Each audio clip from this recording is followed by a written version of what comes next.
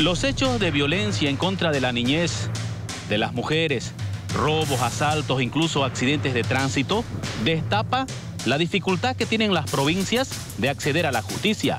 Gente humilde que acude y busca esa ayuda de parte de la justicia no lo va a encontrar porque no, no cuenta con ese recurso suficiente. El acceso a la justicia de algunas poblaciones del departamento de Santa Cruz se tiene restringida.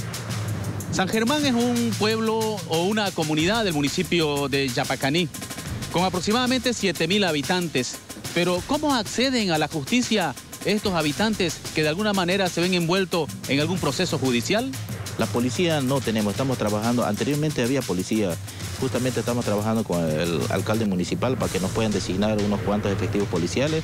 En, el tema de juzgado no tenemos, tenemos que derivar hasta el municipio de Yapacaní.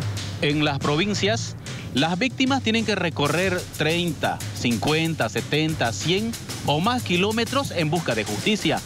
Esta situación se da porque en sus comunidades no existen policías, fiscalía y tampoco juzgado. Entre 8 o 9 que se quedan cada turno, ¿no? Entonces no abastece eso para el municipio de Yapacaní, vuelvo a reiterar, con la cantidad de población que tenemos, hermano. Solo dos fiscales hay para la provincia de Chilos, que tiene cuatro municipios y cerca de 100.000 habitantes.